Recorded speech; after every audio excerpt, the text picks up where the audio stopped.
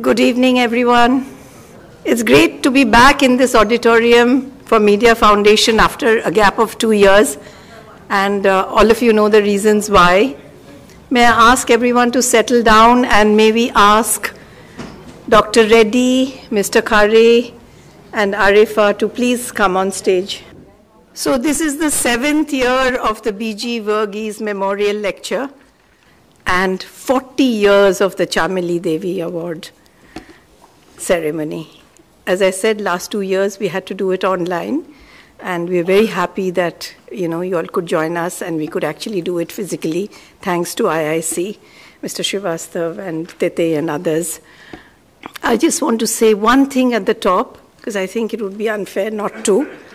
In these two years, we've lost over almost 500 journalists in India alone and around 1,400 doctors. This is not including all the other medical, you know, those in the health profession. And I think uh, Media Foundation would certainly like to just mourn these terrible losses. And now I would like to invite uh, Mr. Harish Khare, who is the chair of the Media Foundation. Um, he is uh, to come and uh, take the program forward. Mr. Khare, just a couple of words. Senior journalist, editor, most of you know him, author. He's also been associated with the Hindu and the Tribune. Um, also has been a media advisor to the PMO.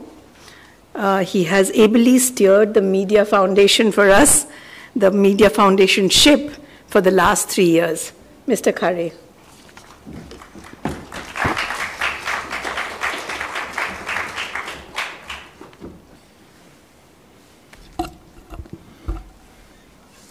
Good evening.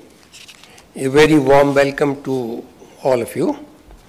It indeed feels very nice uh, to be here in the auditorium, a familiar place, uh, after the disruptions caused by our by the pandemic to our familiar ways of doing things.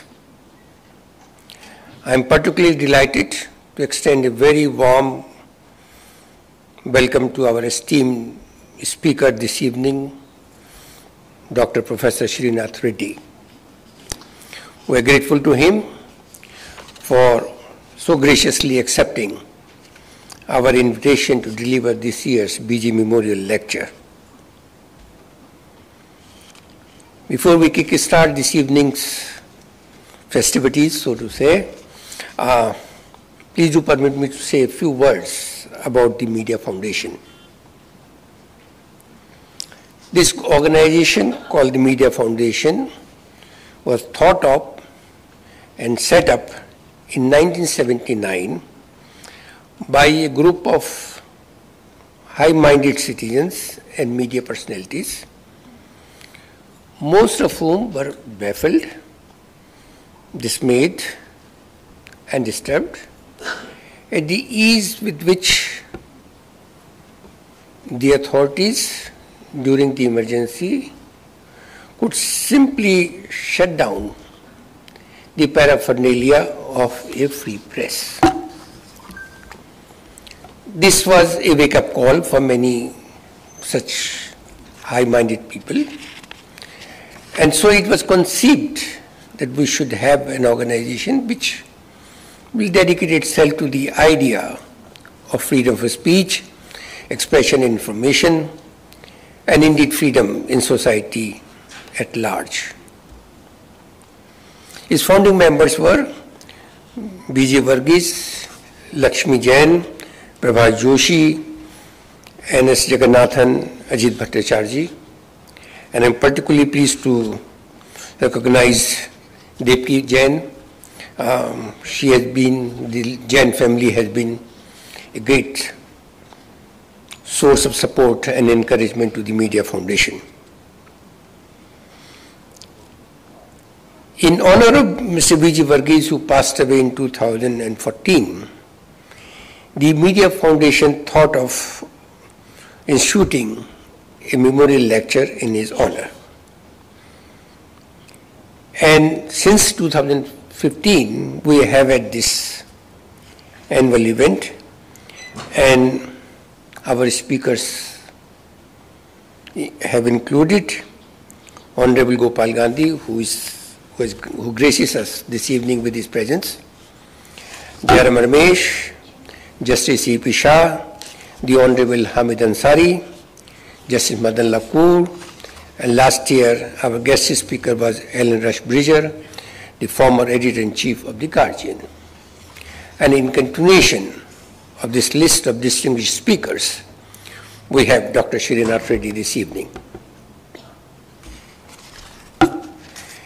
The Media Foundation, over the years, I think in 1980, instituted an annual Chameli Devi Jain Award for an outstanding woman journalist.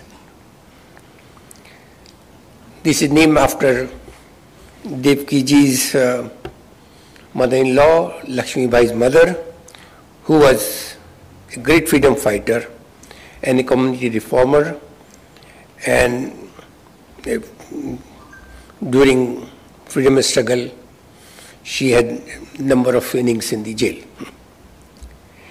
The award is partly endowed by the Jain family and we are grateful to them. The award was given in 1982 first and has included some of the best known and respected names in Indian journalism. It has been awarded to journalists writing on such diverse themes as social development, politics, equity, gender justice, human rights, health, war and conflict, consumer values. The list of awardees have included well-known names like Neerja Chowdhury, Usha Rai, Pamela Philipose, Sunita Narain, Nirupama Subramanian, Patricia Mukim, and also journalists from smaller towns who do stellar work but rarely find recognition. While the Chameli Devi Award is a recognition of outstanding work of a journalist, I believe in the process, and this is an important point which I need to, that in the process we are reaffirming and reasserting the basic duties and, and obligations of journalism in a democratic and civilized society. The selection is made by an independent jury. This year, the jury was headed by Ms. Nirupama Subramanian and included Ms. Geeta Hariharan and Mr. Ashutosh. And before I invite Ms. Geeta Hariharan to read the juror's report, I particularly wish to emphasize that we could not think of a better speaker this evening than Dr. Srinath Reddy, to, who will talk on a theme which has touched each one of our lives in some way or the other. Now, Ms. Hariharan. Thank you.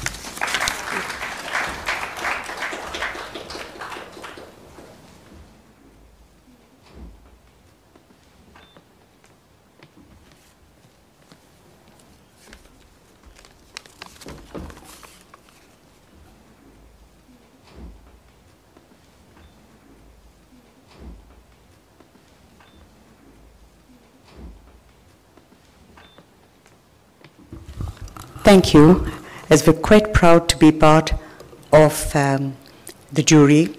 And I, before I read the juror's report, I want to give you the good news that I think journalism, if we are to go by the entries we read, is flourishing. In fact, let me stick my neck out and say that it seems to be doing better than fiction. The three member jury is pleased to announce that the winner of the 2021 Chameli Devi Jain Award for an outstanding woman journalist is Arifa Johari from Scroll.in.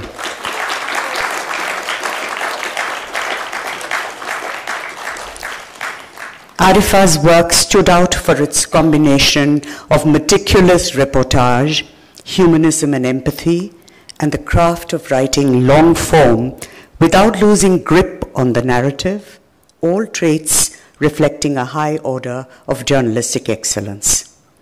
Her reports, whether on the employees of the Brihan Mumbai Municipal Corporation done out of permanent jobs, or on ASHA workers in Madhya Pradesh struggling with the arbitrary switch to a new software, or how the diamond dust industry was hit by demonetization, displayed a journalistic expertise that is perhaps fast disappearing from the profession as it is practiced in the country under the onslaught of source based reportage.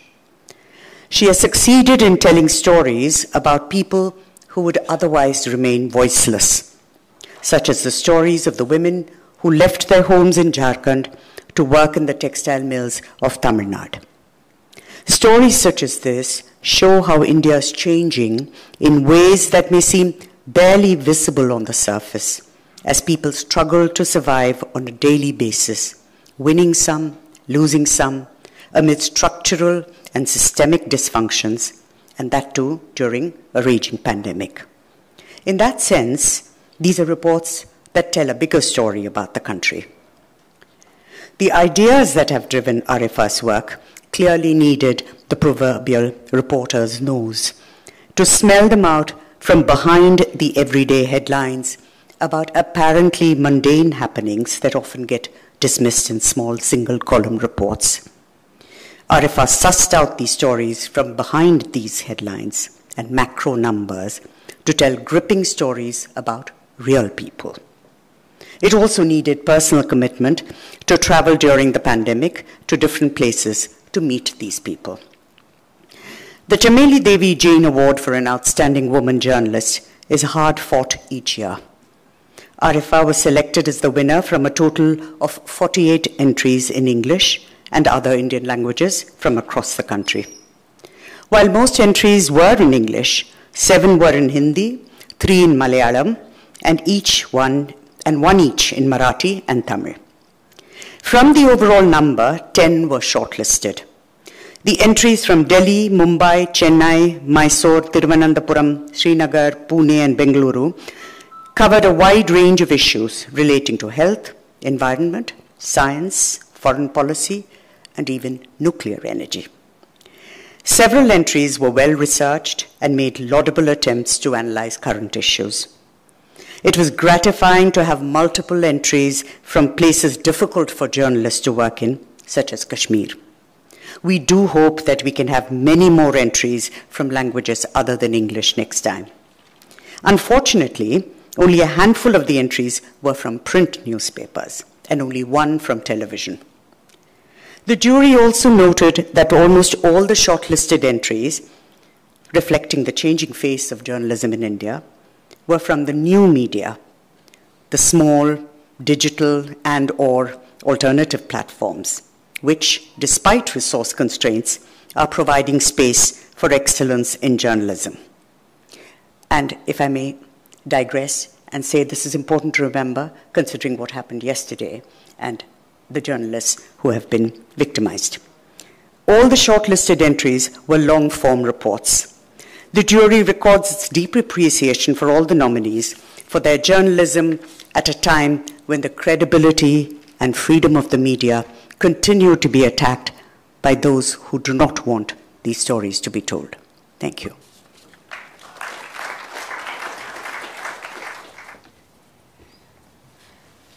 Shall we give a round of applause for our winner and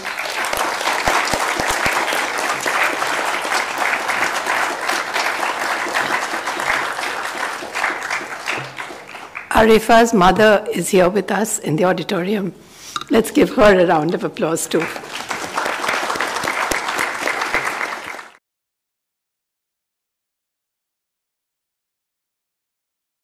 The Media Foundation is honored to present the Chameli Devi Jain Award for an outstanding woman journalist 2021 to Arifa Johari, currently engaged with Scroll.in's Common Ground project. Ms. Johari is recognized because her journalism is informed by sensitivity and insightfulness as she seeks to uncover injustices at the interaction of gender and labor. She has probed how women workers, be it in Gujarat or Tamil Nadu, as Geeta mentioned, or in Madhya Pradesh, get shortchanged as familiar tricks of discrimination and exploitation are played on them. Arifa Johari is honored because her journalism is guided by the simple principle of a reporter's duty to look beneath the comfortable and convenient lies and half lies that the authorities, both public and private, claim in defense of their malpractices and missteps. Her work is an outstanding example of a reporter's everyday privilege to help society demand fairness and justness. Arifa Johari is applauded because her journalism imbibes the reporter's basic obligation to question the assumptions and certitudes of the official orthodoxy at all levels of governance.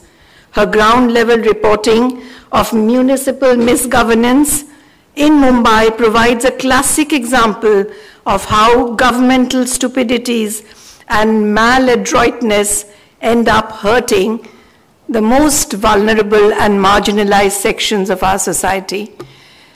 This enterprising journalist is commended because in her work she remains mindful of the reporter's responsibility not to get taken in by demands of conformity made in the name of nationalism and national security. In her insightful report published on the fifth anniversary of demonetization, she documented the differential impact of the economic upheavals in the formal and informal sectors. In the process, she demonstrated how it is necessary to challenge the priorities and platitudes of the governing classes. Arifa Johari's journalism stands out for its refusal to get intimidated by authorities at a time when the Indian media is being widely perceived as having lost its institutional spine and professional elan.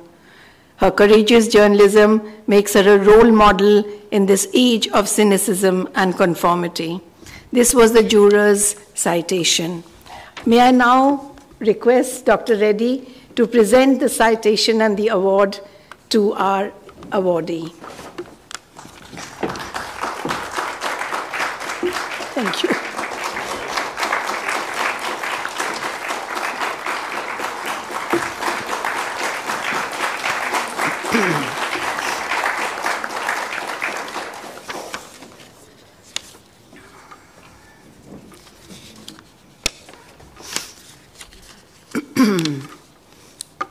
This, we now move. Arifa, you can sit in the audience and enjoy the second half now of the BG Verghese Memorial Lecture. Every year when we hold this, we miss Mr. Verghese immensely. Oh, her citation. I'm so sorry. Ha ha. I, my million apologies. Five minute acceptance speech from the podium. Come here.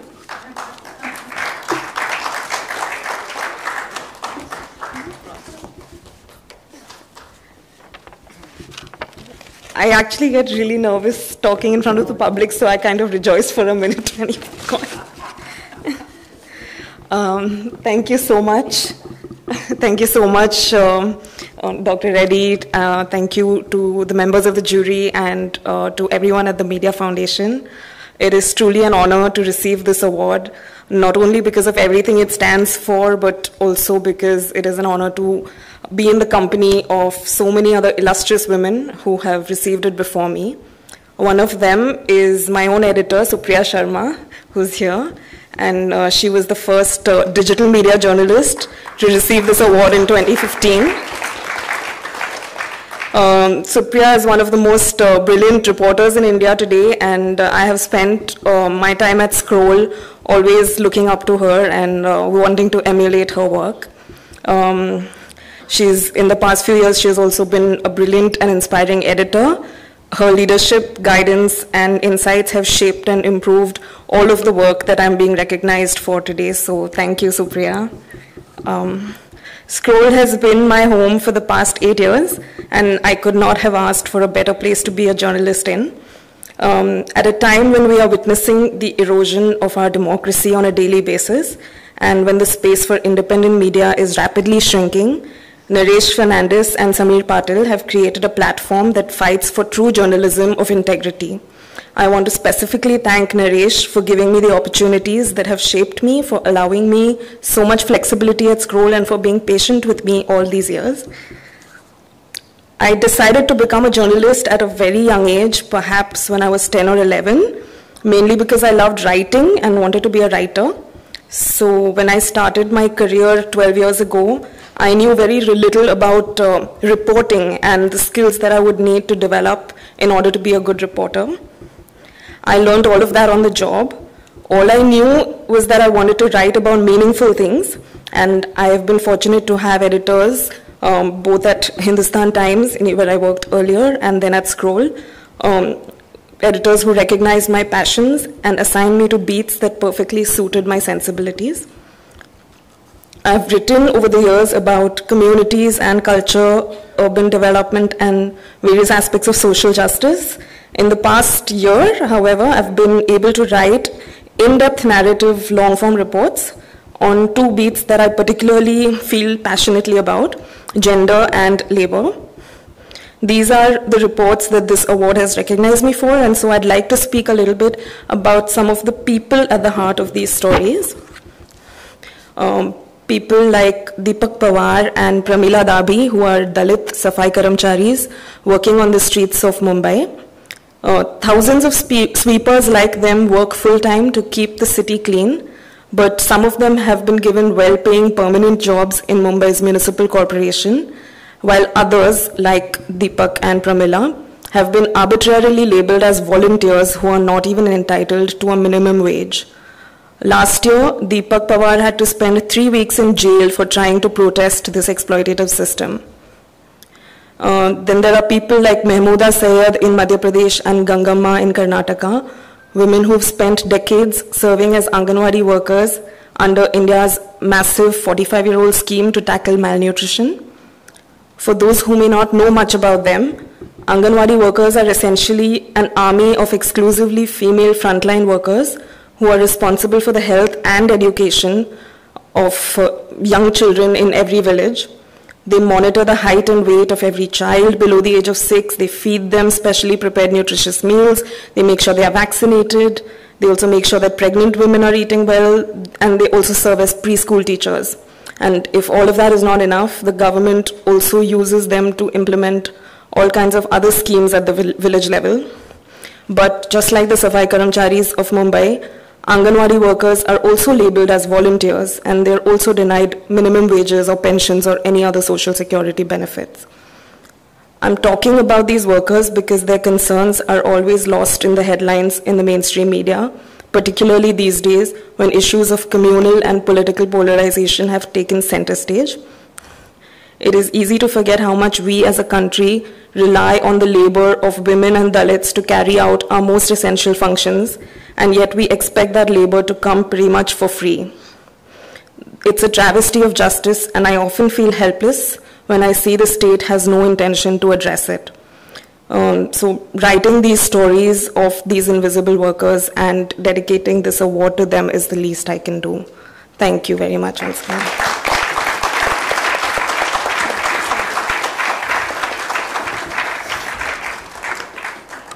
Thank you so much, Arifa, and once again, sorry for that brain fog on my part. And I now request uh, Professor K. Srinath Reddy to deliver the BG Verghese Memorial Lecture. Two minutes, I'll just introduce you. You need no introduction, but we shall do it. Um, Professor Srinath Reddy is President, Public Health Foundation of India. He formerly headed the uh, Department of Cardiology at the All India Institute of Medical Sciences, New Delhi. Under his leadership, PHFI has established five Indian institutes of public health to advance multidisciplinary public health education. research, health technologies, and implementation support of strengthening health systems. He served as the first Bernard Lown visiting professor of cardiovascular health at the Harvard School of Public Health between 2009 and 2013 and is presently an adjunct professor at Harvard and Emory Universities. He's the first Indian to be elected to the National Academy of Medicine, USA, and is a Padma Bhushan awardee. Over to you, Dr. Reddy. We're looking forward to listening to you today.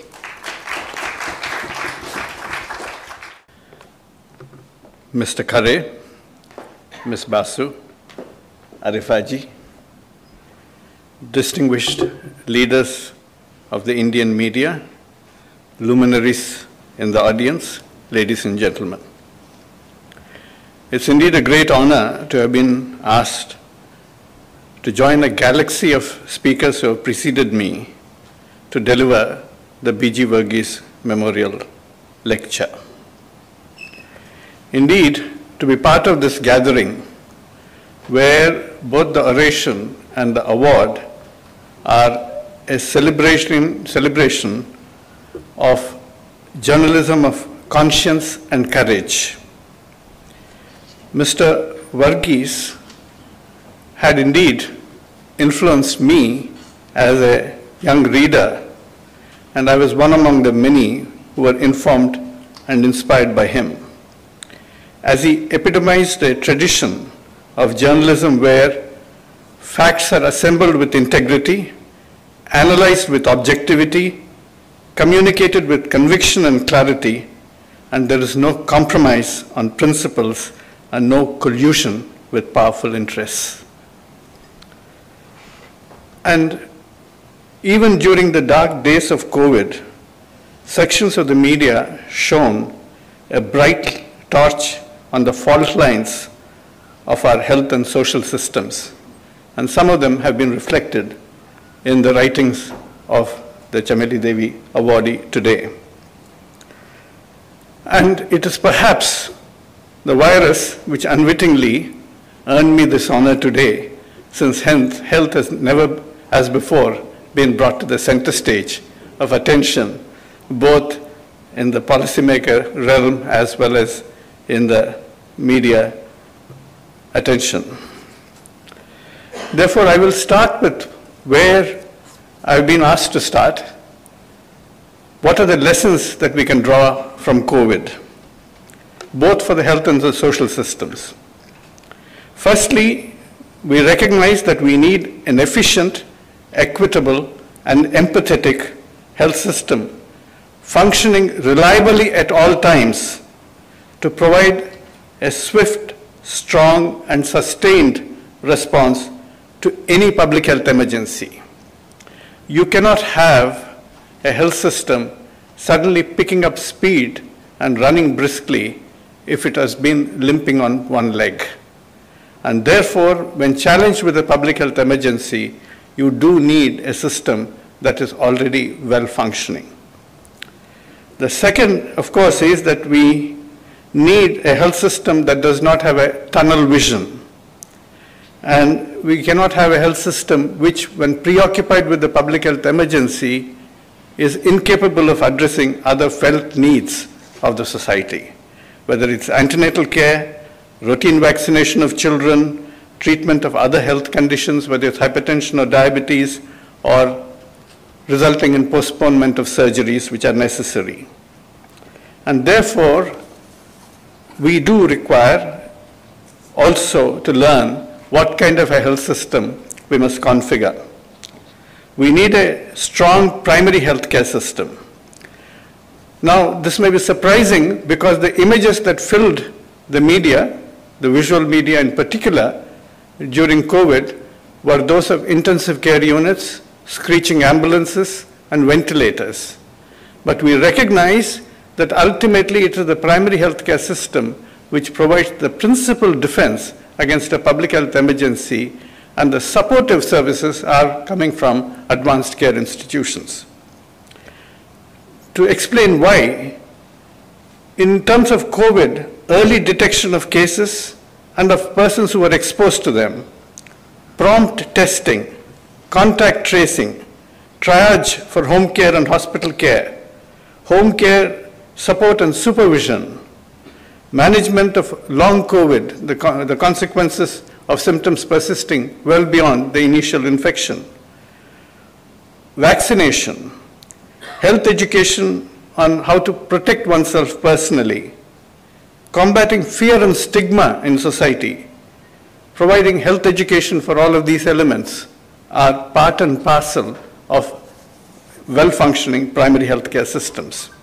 And we saw that this did not happen as effectively, and particularly the relative absence of an organized primary healthcare system in our urban areas really proved costly when the virus made its entry principally through the urban portals of international airports. Then we also recognize that we need to build domestic capacity, whether it was test kits or personal protection equipment, vaccines or medicines, we recognize that we need to build public sector and private sector capacity and we cannot depend upon fairly unreliable supply chains which are operating globally.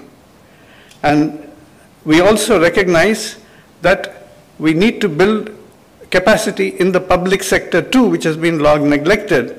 For example, in the pharmaceutical sector, we know that we can justifiably take pride in the way our pharmaceutical sector is developed, whether it's for drugs and vaccines. But we also know that when it comes to the usages of compulsory licensing when necessary, and for essential price controls, for affordable pricing of medicines, the private sector may not necessarily step up to the task. And therefore, you do need a very strong public sector presence, even if we have to draw upon the private sector strengths. We also know that we have to build public health capacity. Our public health expertise has been very minimal, whether it is in epidemiology or in terms of actually ensuring contact tracing. It is unpardonable that the uh, task of contact tracing is left to the policemen rather than to train public health workers who are spe- specifically trained for that job. So we do require a public health capacity which is multi-layered and multi-skilled. And as we, even for health care, we need a stronger health workforce. We are already short in terms of our numbers of doctors and nurses and other components of our health workforce.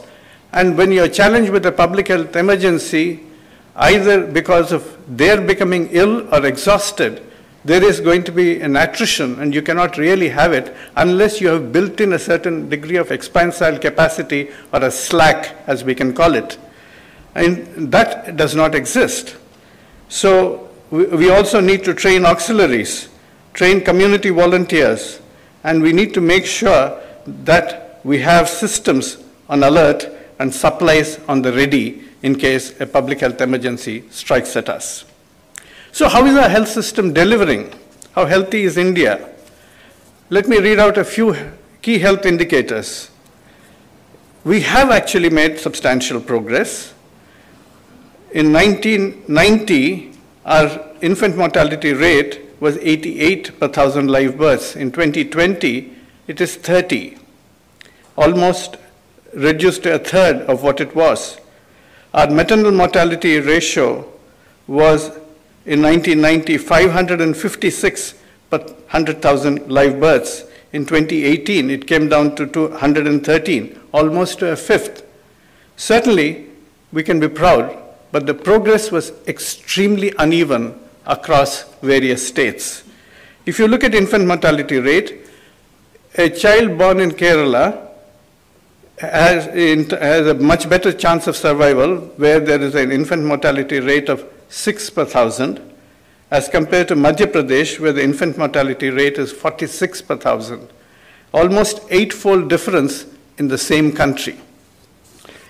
And when we go to international comparisons, we recognize that despite our greater pace of economic gr- growth, we are not comparing ourselves very well with many of our South Asian neighbors or with many other countries in our economic bracket with whom we are bracketed in the BRICS uh, grouping. Uh, for example, if you look at life expectancy in terms of years from birth, in India it's 69.2, Sri Lanka 77, Bangladesh 72, China 76.5. Nepal has a higher life expectancy than ours. If you look at infant mortality rate, India 30, Sri Lanka 6, Bangladesh 25, and China 7.4. If you look at child nutrition, then even in the latest National Family Health Survey that we had in 2019 to 2021, as recent as all that, we have children under 5, 35.5% stunted, that is height for age being low. We have 19.3% wasted, that is weight for height being low. And we have 32.1% underweight, that is weight for age being low. Now, this certainly has an impact on illness of the child, and the child can easily be susceptible to a variety of infections. There can be death. There can be a loss of cognitive power, even if these children survive. The precious brain growth which is affected is going to deprive us of cognitive power in a time when we are really preening ourselves on our demographic dividend that will come upon us in the next two or three decades, if we have a population that has been wasted and stunted and the brain cognitive power depleted because we could not pay attention to their nutritional needs, then certainly we are going to be in trouble. And not only that, it casts a long shadow into adult life and early adult life with a much higher risk of cardiovascular disease and diabetes coming up in early adulthood. And this relationship is also well proven in Indian studies. But there is also the looming danger of non communicable diseases like cardiovascular diseases and diabetes and chronic respiratory disease and cancers and mental health all rising to the fore with much greater speed. In 2018, 63% of our deaths were due to non communicable diseases, of which cardiovascular diseases were 27%. But again, a huge amount of disability also, apart from death, because of these conditions, especially mental health disorders, but even other disorders. Now, one could argue that perhaps death from a cardiovascular disease or cancer, if one were a cynic, one could argue that the death might be inevitable. It has to come sometime or other, and non communicable diseases are a usual way of ending life. But that would, might be true if it were a full and fulfilled life, maybe in the ninth decade or even older. But in India, 56% of the deaths due to non communicable diseases occur below 70 years of age. 40% of the deaths occur below 65 years of age. So these are deaths that are occurring in the productive prime of midlife. And it has consequences, not only for the individual, but for the family and for the country. And in terms of economic losses due to productivity losses as well as healthcare costs, it has been estimated by a study from Harvard School of Public Health and the World Economic Forum that India's losses due to non-communicable diseases because of this amount will amount to $4.58 trillion between 2011 and 2030. And we do have some predilection for certain types of risk factors and diseases, uh, high excess risk of diabetes, oral tobacco leading to a huge amount of oral cancers, and indoor air pollution, the kitchen's curse, which drags women who are cooking with, with solid biomass fuels, the toddler playing around her and the babe in her arms, all of them likely to be affected in terms of their respiratory disease and even acquiring other diseases as well. But we also know that this is going to increase because we see that urban acculturation actually increases the risk of non-communicable diseases in the absence of appropriate preventive policies. And with increasing urbanization, we are going to be seeing this, and this is something that we have seen in our own research, where within five years of migration to an urban environment, urban workers in factories in three cities acquired far greater amount of cardiovascular risk and diabetes risk compared to their siblings who stayed behind in their villages. And we also know that as these pandemics of uh, epidemics of non-communicable diseases advance and mature, the social gradient reverses, first for risk factors, then for events, and the poor will ultimately become the major victims when the mediators of risk like tobacco and unhealthy diets are mass produced for mass consumption. And that is going to have a major challenge for our health system, which will be unable to cope. And why has India's health system faltered? India's health system has suffered from low public financing for health for several decades. It's not a recent phenomenon. Because health has not been seen as an investment for economic growth. A hangover of a thinking initiated by an American economist called William Baumol, who said health care is a cost disease. With increasing investments, you are not likely to see increasing returns in terms of economic productivity unless the industry, agriculture, and service sectors. This has been contested and definitely argued in a number of international reports since, and that's why we have seen ultimately uh, health being recognized as vital to development, and that the bidirectional relationship that exists between economic growth and health is important because even as economic growth improves the health of the population, uh, the health of the population actually accelerates uh, economic growth. But it has taken a while for our own economists to recognize this. Uh, but the, you can see that being reflected in the amount allocated for health budgets. In India, uh, if you take government health expenditure as a proportion of total health expenditure, uh, India in 2017 was 30 percent. In Sri Lanka, 56%, China, 59%, Thailand, 78%, UK, 83%. And surprise of surprise, in the United States, which is considered to be the poster child of privatized medical care, government health expenditure as a part of total health expenditure was 48%.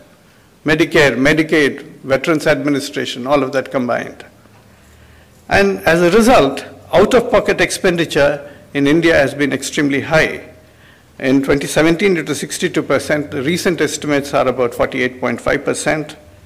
But the World Bank, as well as the WHO, recommend that if you want to have universal health coverage, then you need to have your out of pocket expenditure restricted to less than 20% around 15 to 20 percent.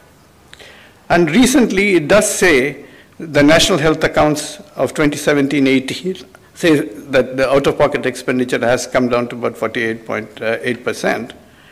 But the total health expenditure has fallen from 4.2 percent of the GDP in 2004 and 5 to 3.3 percent of the GDP in 2017 to 18. So the actual amount of money being spent on health is actually decreasing, even though the government share may be rising. And why is that so? It is also because out-of-pocket expenditure can fall because of foregone care. If people feel that healthcare is costly and do not access the care they need when they need, then you don't have out-of-pocket expenditure. You can actually lower out-of-pocket expenditure and take pride in it, but actually you're denying people the coverage. So we need other indicators as well. And at the same time, we have a great shortage of our healthcare workers. The WHO estimates that we need 44.5 per 10,000 doctors, nurses, and midwives to achieve universal health coverage and achieve our sustainable development goals by 2030. This is a global prescription. What do we have? If you combine our nurses, midwives, and doctors, on record, we have 25.7 per 10,000. Not too bad. But when we actually adjust for qualifications, are these doctors and nurses who are listed in the census qualified? And we also look at who is actively working now. Are they actually serving in the society, in the functioning, or retired, or, um, or migrated, or somewhere else? We have then 4.8 doctors and 5.7 nurses per 10,000. That is a total of 10.5 per 10,000 as opposed to 44.5.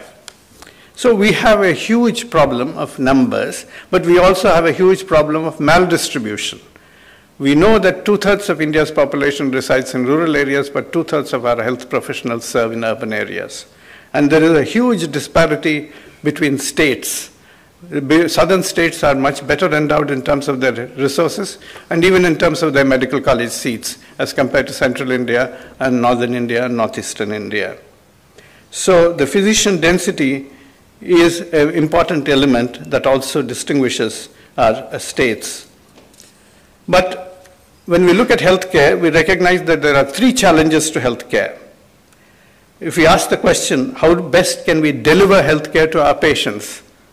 The challenges are access, costs, and quality. So in order to address this, the WHO advocated and the United Nations has adopted in the Sustainable Development Goals the idea that every country must achieve universal health coverage. Now, there's some debate whether we should call it universal health care or coverage, but we can define coverage to definitely mean care in all of its dimensions. And the WHO defines it as all individuals and communities receive the health services they need without suffering financial hardship. It includes the full spectrum of essential quality health services from health promotion to prevention, treatment, rehabilitation, and palliative care. And this is now part of the Sustainable Development Goals as well. But how do you measure it? Firstly, financial protection. If you're really talking about providing financial protection, has it reduced out of pocket expenditure? Has it reduced catastrophic health expenditure? Has it reduced healthcare related impoverishment?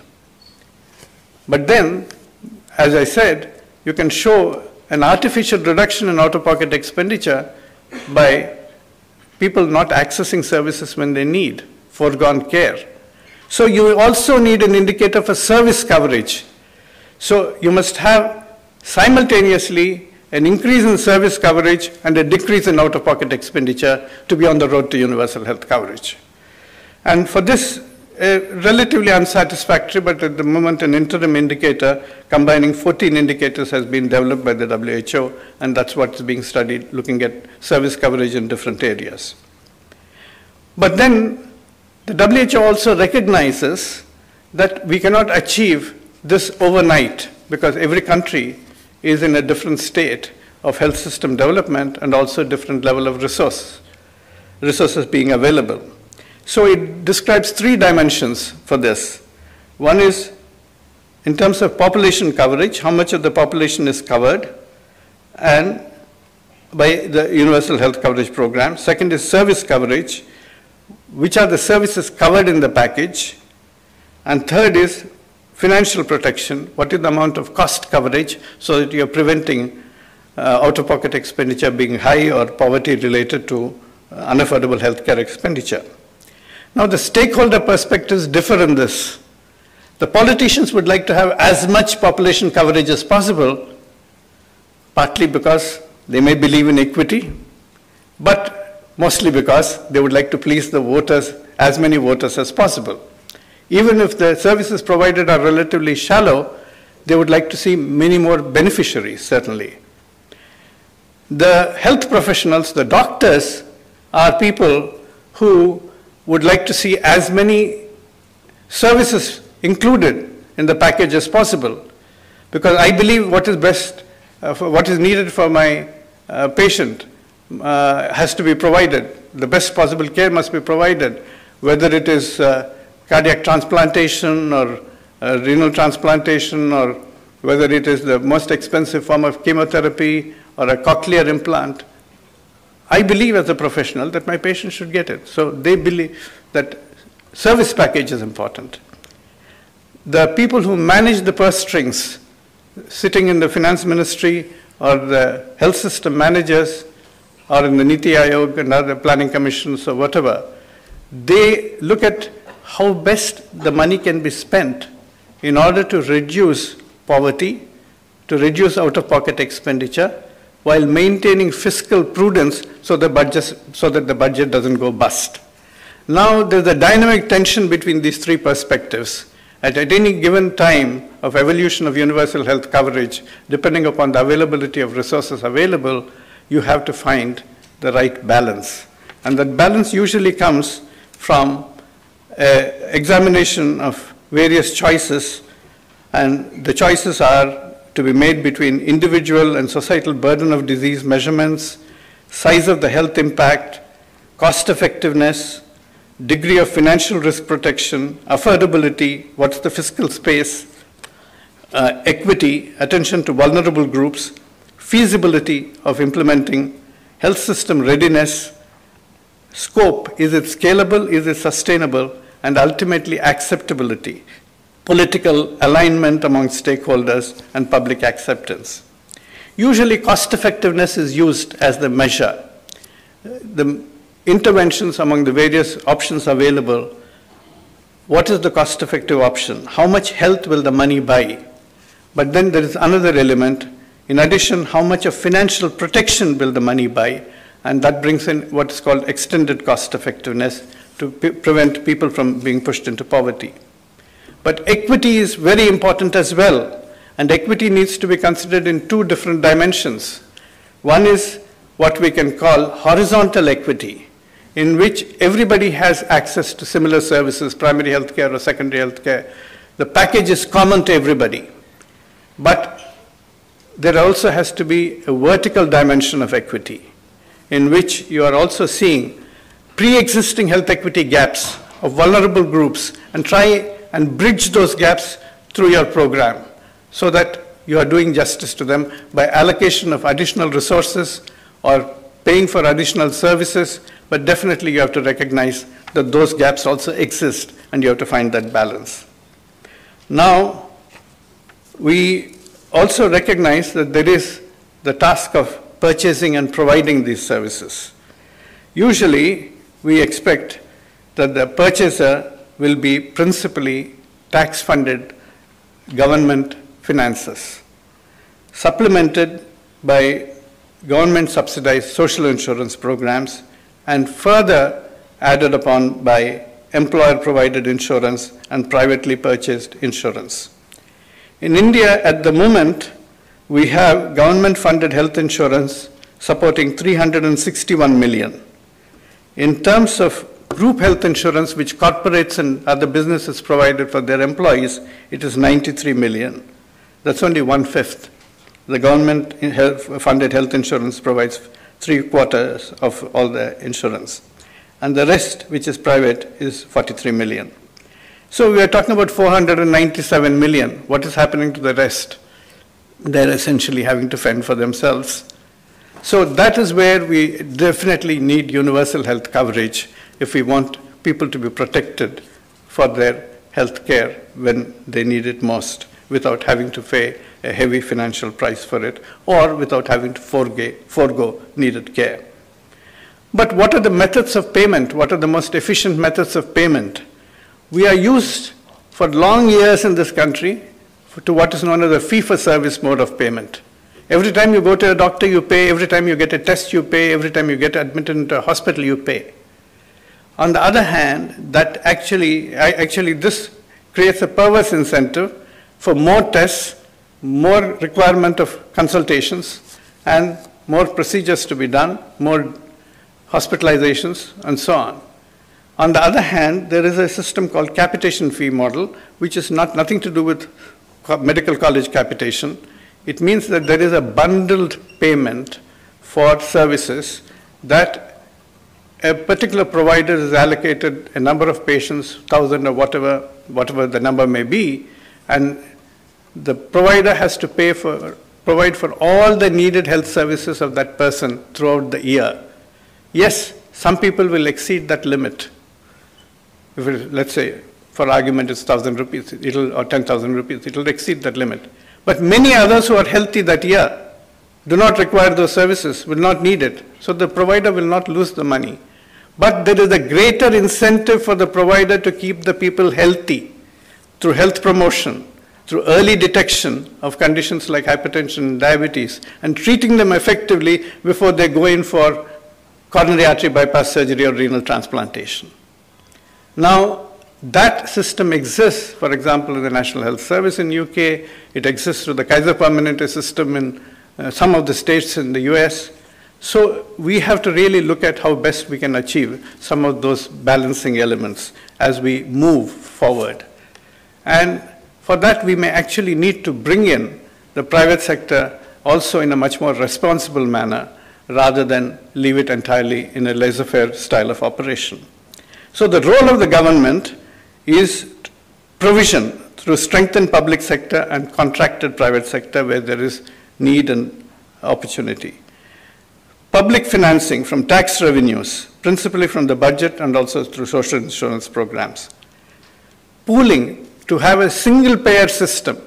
We ought not to have multiple payers because that is inefficient. On the other hand, with a single payer, you are actually going to have much greater capacity for negotiating a fair bargain from the service provider.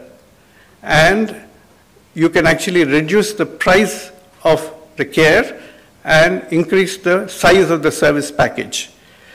The Tamil Nadu Medical Systems Corporation, for example, used this method of procurement in order to use what's called the monopsonic power, which is opposite of monopoly power, in order to ensure that they reduce the price of medicines quality by procuring quality assured generics. So purchasing is important. Regulation is also very important of standards, quality, price, ethics, education, all of these areas uh, need regulation. What do we do with the private sector? We have a very large number of our doctors, 80% of our doctors and 70% of our nurses are in the private sector. So we cannot ignore it because our mixed health system has evolved by default rather than by design, but we still have to make the best use of what we have. So we need to bring in the private sector in a much more responsible way. And there, they have shown a reluctance in general, the organized private sector, uh, has shown a reluctance to participate in primary care, we ought to see how best they can actually, if they do come into primary care, to partner with the government in a much more responsible manner, particularly in the implementation of national health programs, whether it's tuberculosis control. No, you can't really think of TB control without the private doctors in practice to whom people go without being part of that system. So their contribution to national health programs has to become important.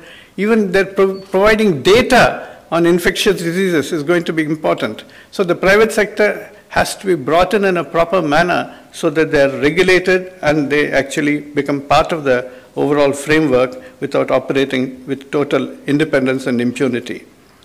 Now, in terms of secondary and tertiary care, they are already participating in the Pradhan Mantri Jan Arogya Yojana, but since it is disconnected to primary care, they are only happy to take the money for the government funded programs for secondary and tertiary care, but they are not really willing to get into primary care where the profits are much less. So you definitely need to see how best you can actually get them to link up in a better manner. And they also can be part of the pool procurement process where they can also take, get the procured drugs and equipment at a lower price through the central procurement process and they pass on the benefit to the consumer. So there are a number of ways in which we can really look at it. Public-private partnerships have acquired an odium with many of the uh, people in the civil society calling them partnerships for private profit.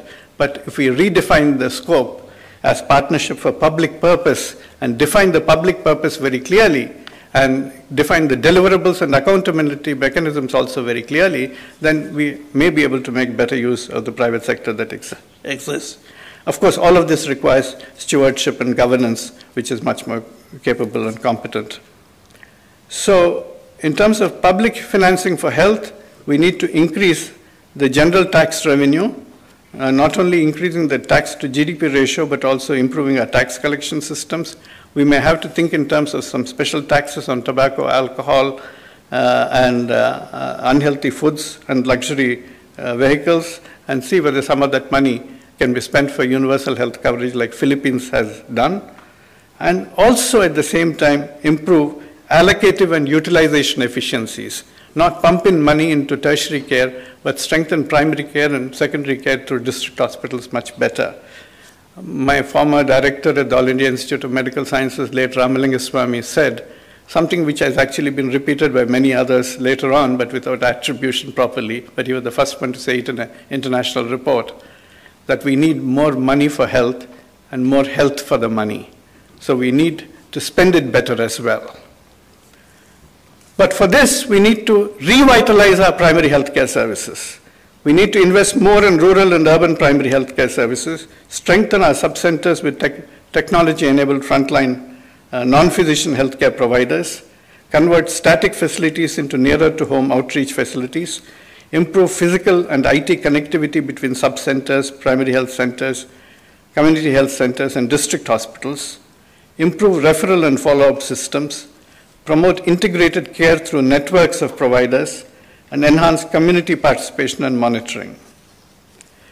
So I would say that we did try some of this through the National Rural Health Mission and the Rashtriya Swasthya Bima Yojana, but because of the limited scope of services and limited financing available, it did not proceed very well, though well intentioned. The benefits were limited.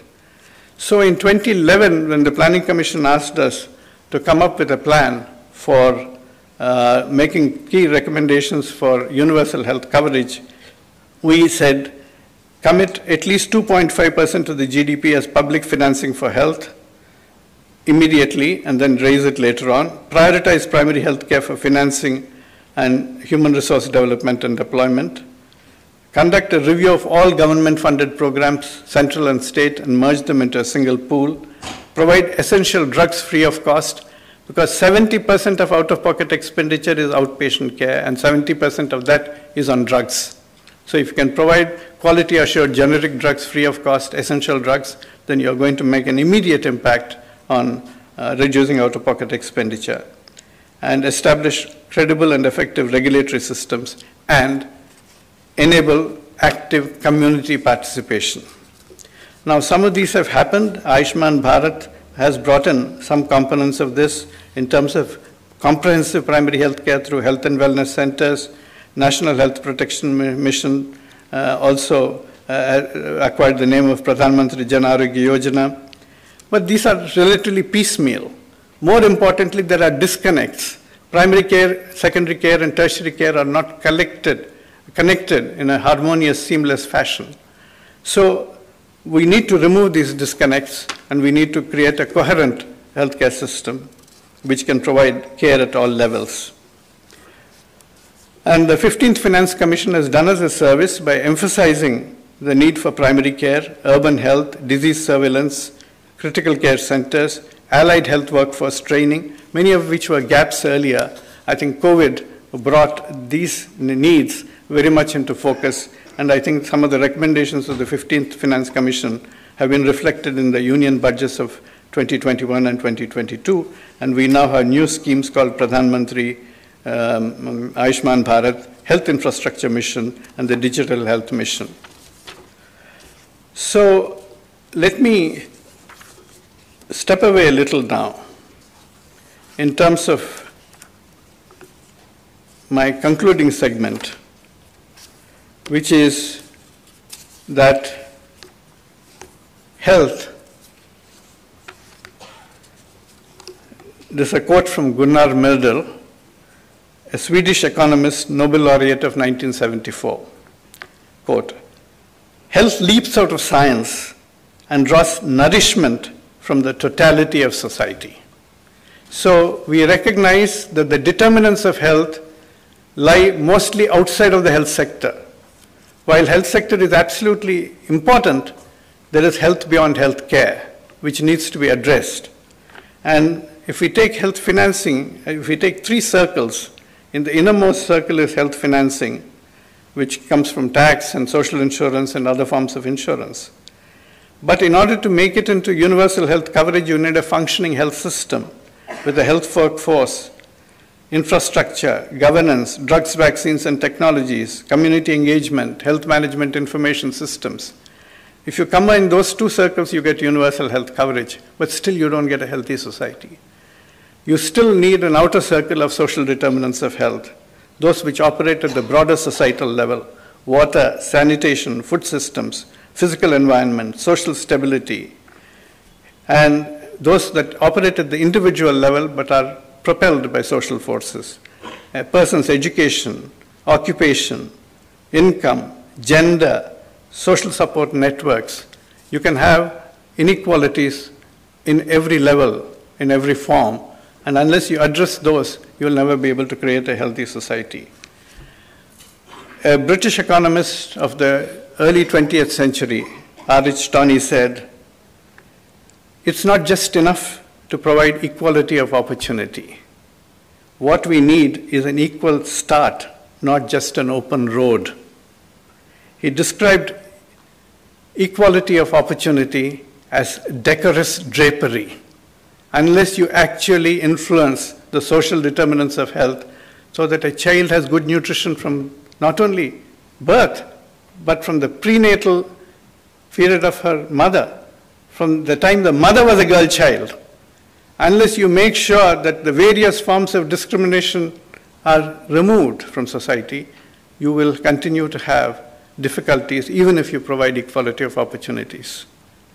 And for a girl child, it, uh, many of these are epigenetically modified.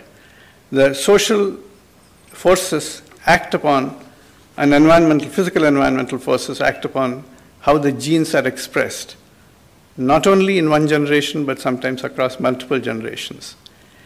If a woman who is pregnant is undernourished, the girl baby in her womb will be undernourished and born susceptible to a variety of health conditions. But that girl baby has ova, eggs in her. Those two would have been epigenetically influenced so that not only the child yet to be born, but the child yet to be conceived also is affected. So multiple generations can be affected. So we have to address all these determinants if you have to create a healthy society. You have to recognize inequality in all its forms and then try and correct them and not just depend upon hospitals for delivering health care, though they too are necessary. But to close finally, and just let me give you an example of how the social determinants are very vital. It is very clear that, as I said, there's a bidirectional relationship, even at the population level. As the economic development increases at the population, the health status reflected by life expectancy also increases. And this happens fairly steeply when the economic development is at a relatively low level. But by the time you reach $5,000 per capita, it sort of plateaus off. The incremental benefits are much lower. But at any given level of economic development, even amongst the rich countries, those that benefit best in terms of health as well as other social indicators are those that have the lowest level of inequality in the population. Among all the OECD countries, the United States lags behind in life expectancy and other social indicators. And you just have to compare Japan and United States and you see the gap. Therefore, countries must not only focus on economic development, but also ensure that there is equality that the income gaps and other social gaps are not wide and awning if you want to get the best in terms of health benefits, if you want to create a healthy society. And that's important. And this is something that has been pointed out by Wilkinson and Pickett in their book Spirit Level, and it's been shown very clearly. Now, for example, the US spends 18% of its GDP on health whereas other OECD countries spend about two thirds or half of that, but all of them have higher life expectancy. Now, climate change, with Vandanaji there in the audience, I cannot but talk about climate change and food systems and agriculture. We know that as climate change accelerates, we are going to see a huge amount of health effects, vector-borne diseases, as humans in increasing temperatures will wilt and lie listless in the soaring temperatures, the mosquitoes will get athletic and climb to higher altitudes. They'll spread farther and faster. And you'll see many more mosquito-borne diseases like malaria, dengue, chikungunya, and other diseases spreading much, much more. You see severe heat effects. You see extreme weather effects, floods and famine, all of them. And on food and agriculture systems, just to close on that, for every one degree rise in, uh, rise in uh, one degree centigrade rise in temperature, in South Asia and sub-Saharan Africa, there'll be a 10% decrease in the yield of staples. And we are already operating at a very high level in terms of our temperature vulnerability for our staples in India and, and uh, uh, in South Asia and in sub-Saharan Africa. But the quality of food also will decrease. There will be a reduction in the zinc, iron, and protein content of these staples. And the Data Science Institute of Columbia University has forecast that by 2050, if climate change continues the way it is, India's agricultural system will have serious challenges, and we will be creating 49.6 million new zinc deficient persons, 38.2 million new iron deficient persons, 106 million children, and 396 million women will be iron deficient only by climate change. And they have said that if you actually change your systems to more, more climate resilient, but also more water efficient, resource efficient crops like millets and sorghum, you may be able to forestall some of this. So let me conclude by saying that never before in human history have we been so forewarned of the disaster that might await us. But never before in human history have we been so forearmed with the knowledge and tools to alter that destiny.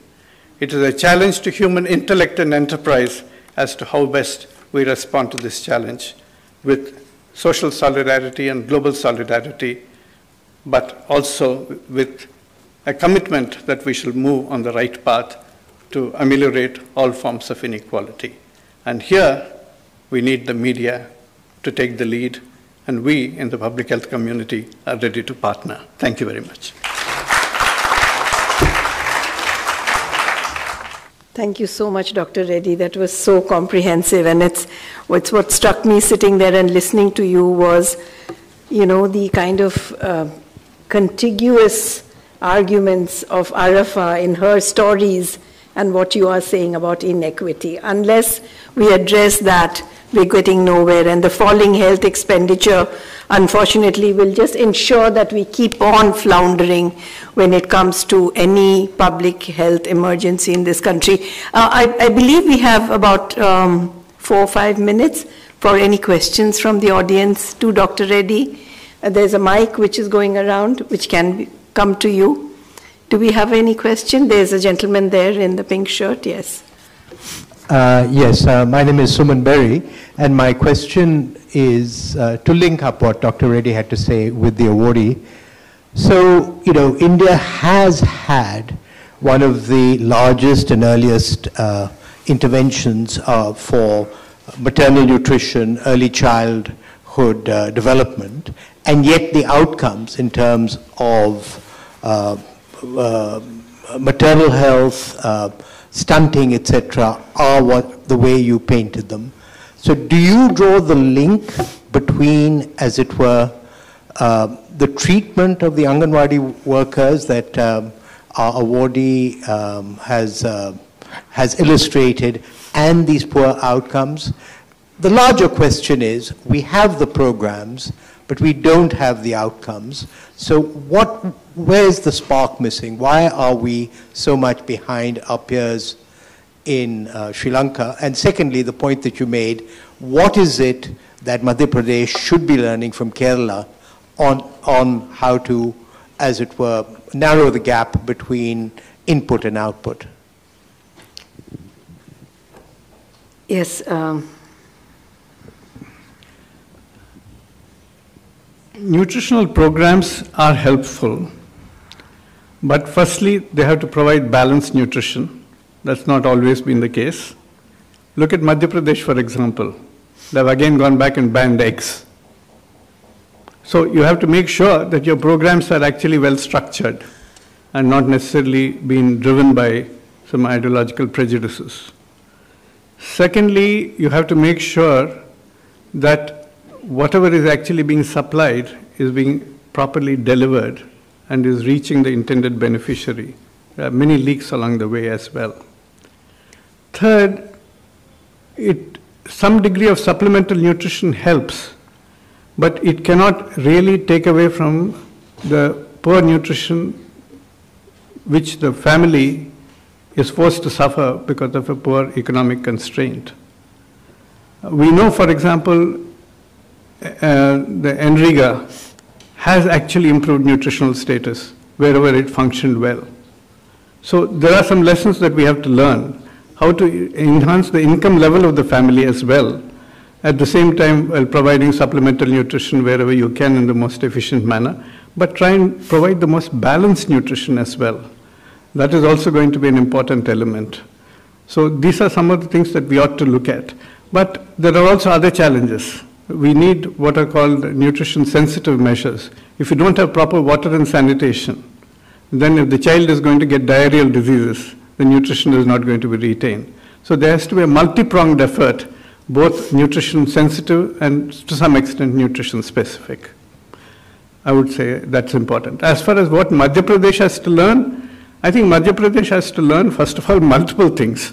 Uh, for example, uh, the whole idea of how Kerala has done well is because of the strength it has in uh, women's literacy, women's uh, participation in the workforce, the whole social structure.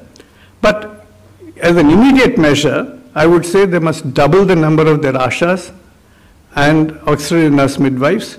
That will provide much greater employment to women as well, enhance their uh, capacity. We cannot produce doctors very fast. So at least the frontline health workers who can be recruited, trained, technology enabled, they can actually enhance the frontline health workforce very fast. But taking a broader element, when people ask me, what is your prescription for India's health in terms of various states? My simple or rather simplistic answer is if every state had the social determinants of Kerala and the health system of Tamil Nadu, we'd all be in a better place. Thank you so much. I think there's one question, and I'm afraid that will have to be the last. If you can make your question quick, yeah. short, please. I would just like to know what is the percentage of population which is suffering from NCDs, non-communicable diseases in the country, number one. Number two, how much uh, GDP is lowered due to NCDs in the country. And ultimately... Okay, I will not allow you a number three, sorry. okay, Dr. Reddy, please. Just fleeting please, question, we, anyhow. We just have to, yeah. Anyhow. And it is just a very common adage that health of the nation is more important than the wealth of the nation. No? That also you must propagate. No? as far as the prevalence of NCDs is concerned, there are difficulties in estimating the numbers accurately because our surveys have not been comprehensive. They have been relatively piecemeal though some ICMR studies have been done which have attempted to capture. And NCDs are a broad bucket. They include cardiovascular disease, which also includes hypertension. They include diabetes, they include chronic lung disease. You have prevalence estimates for all of them separately. Just to give you an example, hypertension prevalence in urban areas is anywhere between 27 to 30 percent among adults. Diabetes prevalence is very variable across the country. In cities like Chennai, it's upward of 20 percent in, in measured diabetes, uh, probably close to 24 percent now, whereas in other parts it's lower, rural areas it's lower. But you'd be shocked to hear a statistic that has been produced by a survey between, of Chennai and Delhi. And uh, Professor Nikhil Tandon from All India Institute of Medical Sciences, uh, some over six years ago. The survey in Delhi, which includes all criteria for diagnosing diabetes and all criteria for diagnosing pre-diabetes, various criteria. If you add all of them, 78% of Delhi's population, adult population, is either pre-diabetic or diabetic. Now, you have to be shocked at that. Lot of your So- utterances, Dr. Reddy, have been really headline grabbing, and I'm afraid of, uh, for your truth telling, and I hope that you don't get the Pegasus in your phone. Thank you so much. Thank you uh, for all um, that wonderful presentation. Um, I'm afraid we have come to the end of the program. We've got three minutes uh, to eight. And uh, this is the time where I must thank all the people who've been here. First of all, Dr. Reddy, Arifa for having, you know, um, been here and made us all believe in journalism again. Every year we do that.